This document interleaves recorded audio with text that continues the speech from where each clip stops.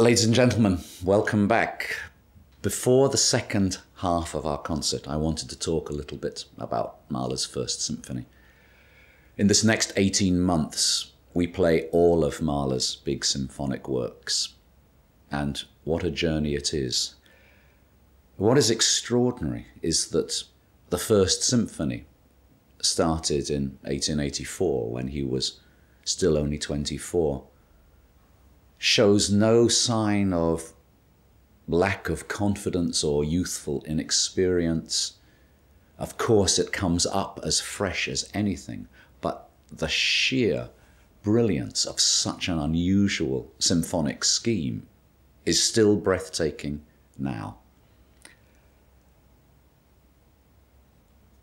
Mahler really thought when this symphony was first performed that it was going to be easy for people to understand. Of course, now it's one of his most popular masterpieces.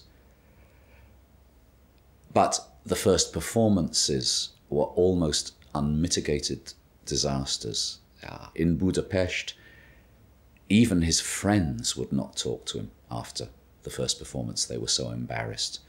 In Vienna in 1900, the orchestra actually deserted him and left him on stage to face the boos and the catcalling uh, and the whistling through house keys, the big old house keys they had in Vienna. It was one of their trademarks.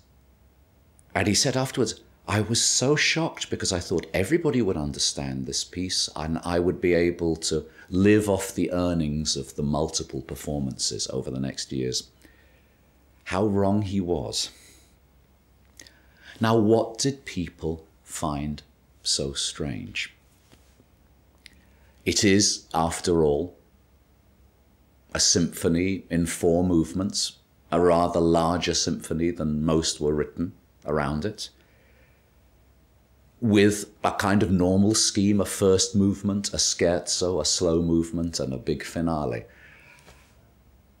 But being Mahler, it's what he put into it which seems to have confused people. By all accounts, Mahler was an extraordinary kaleidoscope of emotions and feelings at every moment. And he could go from being like a little child to being a fury to crying to laughing uproariously, all really within seconds. And the music does the same thing. There's very little music which is as autobiographical as Mahler.